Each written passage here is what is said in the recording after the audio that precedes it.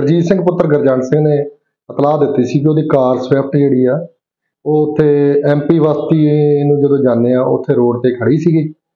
ਤੇ 11 ਕੁ ਵਜੇ ਦੀ ਰੇਂਜ 'ਚ ਕੋਈ ਨੂੰ ਵਿਅਕਤੀ ਚੋਰੀ ਕਰਕੇ ਲੈ ਗਿਆ। ਬਾਅਦ 'ਚ ਜਦੋਂ ਇਹ ਪੜਤਾਲ ਕੀਤੀ, ਸੀਸੀਟੀਵੀ ਕੈਮਰੇ ਦੇਖੇ ਅਸੀਂ, ਸਾਰੇ ਪੜਤਾਲ ਕੀਤੀ, ਤੇ ਉਹ ਪਤਾ ਲੱਗਾ ਕਿ ਸੁਖਦੀਪ ਸਿੰਘ ਸੁੱਖਾ ਨਾਮ ਦਾ ਕੋਈ ਤੇ ਇੱਕ ਹਰਮਨ ਨਾਮ ਦਾ ਲੜਕਾ, ਉਹ ਚੋਰੀ ਕਰਕੇ ਲਗਾਏ ਕਾਰ ਨੂੰ।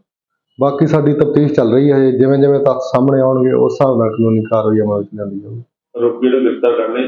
ਨਹੀਂ ਹਜੇ ਗ੍ਰਿਫਤਾਰੀ ਬਾਕੀ ਹੈ ਜੀ ਤਲਾਸ਼ ਜਾਰੀ ਹੈ।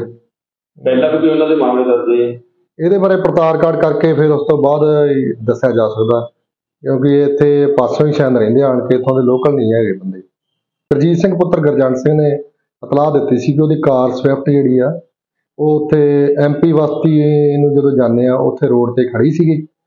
ਤੇ 11 ਕੁ ਵਜੇ ਦੀ ਰੇਂਜ 'ਚ ਕੋਈ ਨਾਮਲੂਮ ਵਿਅਕਤੀ ਚੋਰੀ ਕਰਕੇ ਲੈ ਗਿਆ। ਬਾਅਦ 'ਚ ਜਦੋਂ ਇਹ ਪੜਤਾਲ ਕੀਤੀ ਸੀਸੀਟੀਵੀ ਕੈਮਰੇ ਦੇਖੇ ਅਸੀਂ ਸਾਰੇ ਪੜਤਾਲ ਕੀਤੀ ਤੇ ਉਹ ਪਤਾ ਲੱਗਾ ਕਿ ਸੁਖਦੀਪ ਸਿੰਘ ਸੁੱਖਾ ਨਾਮ ਦਾ ਕੋਈ ਤੇ ਇੱਕ ਹਰਮਨ ਨਾਮ ਦਾ ਲੜਕਾ ਉਹ ਚੋਰੀ ਕਰਕੇ ਲਗਾਏ ਕਾਰ ਨੂੰ। ਬਾਕੀ ਸਾਡੀ ਤਫਤੀਸ਼ ਚੱਲ ਰਹੀ ਹੈ ਜਿਵੇਂ ਜਿਵੇਂ ਤੱਥ ਸਾਹਮਣੇ ਆਉਣਗੇ ਉਸ ਹਿਸਾਬ ਨਾਲ ਕਾਨੂੰਨੀ ਕਾਰਵਾਈ ਅਮਲ ਵਿੱਚ ਲਿਆਂਦੀ ਜਾਊਗੀ। ਆਰੋਪੀ ਨੂੰ ਗ੍ਰਿਫਤਾਰ ਕਰ ਲਏ। ਨਹੀਂ ਹਜੇ ਗ੍ਰਿਫਤਾਰੀ ਬਾਕੀ ਹੈ ਜੀ ਤਲਾਸ਼ ਜਾਰੀ ਹੈ।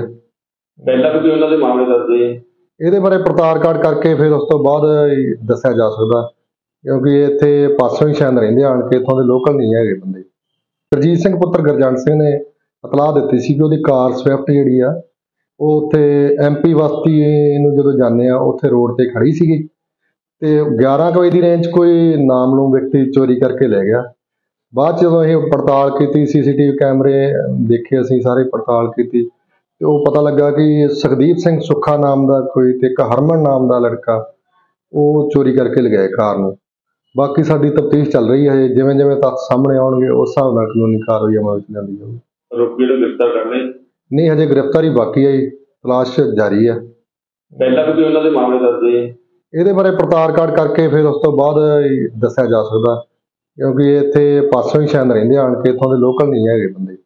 ਗੁਰਜੀਤ ਸਿੰਘ ਪੁੱਤਰ ਗੁਰਜੰਟ ਸਿੰਘ ਨੇ ਇਤਲਾਹ ਦਿੱਤੀ ਸੀ ਕਿ ਉਹਦੀ ਕਾਰ ਸਵਿਫਟ ਜਿਹੜੀ ਆ, ਉਹ ਉੱਥੇ ਐਮਪੀ ਵਸਤੀ ਨੂੰ ਜਦੋਂ ਜਾਂਦੇ ਆ, ਉੱਥੇ ਰੋਡ ਤੇ ਖੜੀ ਸੀਗੀ ਤੇ 11 ਕੁ ਵਜੇ ਦੀ ਰੇਂਜ 'ਚ ਕੋਈ ਨੂੰ ਵਿਅਕਤੀ ਚੋਰੀ ਕਰਕੇ ਲੈ ਗਿਆ। ਬਾਅਦ 'ਚ ਜਦੋਂ ਇਹ ਪੜਤਾਲ ਕੀਤੀ, ਸੀਸੀਟੀਵੀ ਕੈਮਰੇ ਦੇਖੇ ਅਸੀਂ, ਸਾਰੇ ਪੜਤਾਲ ਕੀਤੀ ਤੇ ਉਹ ਪਤਾ ਲੱਗਾ ਕਿ ਸੁਖਦੀਪ ਸਿੰਘ ਸੁੱਖਾ ਨਾਮ ਦਾ ਕੋਈ ਤੇ ਇੱਕ ਹਰਮਨ ਨਾਮ ਦਾ ਲੜਕਾ, ਉਹ ਚੋਰੀ ਕਰਕੇ ਲਗਾਏ ਕਾਰ ਨੂੰ। ਬਾਕੀ ਸਾਡੀ ਤਫਤੀਸ਼ ਚੱਲ ਰਹੀ ਹੈ ਜਿਵੇਂ ਜਿਵੇਂ ਤੱਥ ਸਾਹਮਣੇ ਆਉਣਗੇ, ਉਸ ਹਿਸਾਬ ਨਾਲ ਕਾਨੂੰਨੀ ਕਾਰਵਾਈ ਅਮਲ ਵਿੱਚ ਲਿਆਂਦੀ ਜਾਊਗੀ। ਆਰੋਪੀ ਨੂੰ ਗ੍ਰਿਫਤਾਰ ਕਰ ਲਏ ਨਹੀਂ ਹਜੇ ਗ੍ਰਿਫਤਾਰੀ ਬਾਕੀ ਹੈ ਜੀ ਤਲਾਸ਼ ਜਾਰੀ ਹੈ। ਪਹਿਲਾਂ ਵੀ ਕੋਈ ਉਹਨਾਂ ਦੇ ਮਾਮਲੇ ਹੈ ਇਹਦੇ ਬਾਰੇ ਪੜਤਾਲ ਕਾਰਡ ਕਰਕੇ ਫਿਰ ਉਸ ਤੋਂ ਬਾਅਦ ਦੱਸਿਆ ਜਾ ਸਕਦਾ ਕਿਉਂਕਿ ਇੱਥੇ ਪਾਸੋਂ ਹੀ ਸ਼ਾਇਦ ਰਹਿੰਦੇ ਆਣ ਕੇ ਇੱਥੋਂ ਦੇ ਲੋਕਲ ਨਹੀਂ ਹੈਗੇ ਬੰਦੇ।